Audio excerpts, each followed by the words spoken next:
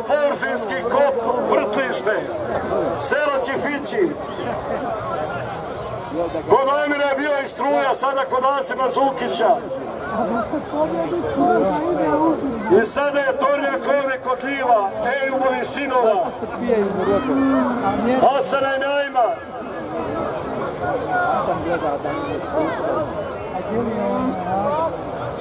Pardon, Najma i Hasana. Nema čega najme. Hasan je inače vozač. Čovjek sve vozi osim helikoptera. A i to kad bi mu rekao znaš li, rekao bi ne da zna.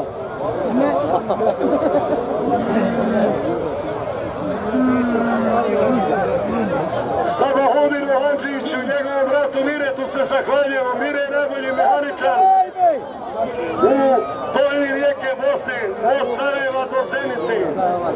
Mire, a sa Bahudinu se zahvaljujemo na ustav što je radio ovaj put za izlaz sa Bahudin Hadžić, poštar. Ero mašine su još locirane dole. Skloni večeras otiše nafta sa Bahudine. Pusti ga, Omićo!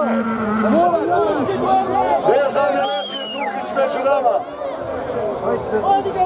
Ili prati iz Njemačke uživo, najbolji mesar u BiH. Nekad radi u firmi Zmajevac kod Nezira Delibašića.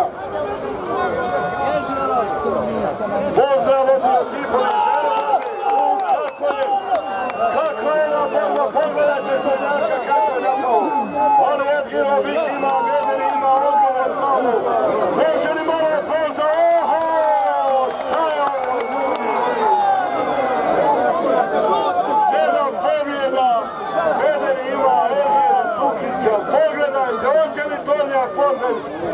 Izazvati ove nalete, ove ulje koje sjevaju sa svih strana, teško je odgovoriti. Biće i kod Bajre u nedelju ovako. Nadam se bar tako. I kod Ine Mirse Zukića 12. augusta u Lovskim lukama. A Zine 17.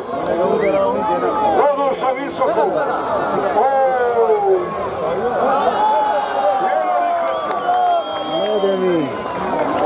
Tukić pobjedio.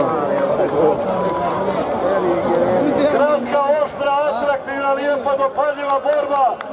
Tukići pobjeđuju. Medhire čestitamo. I Estafu i tvoje braći i sestri Hasni. Maći Fati. Babi Salihu. Tako dalje da i ne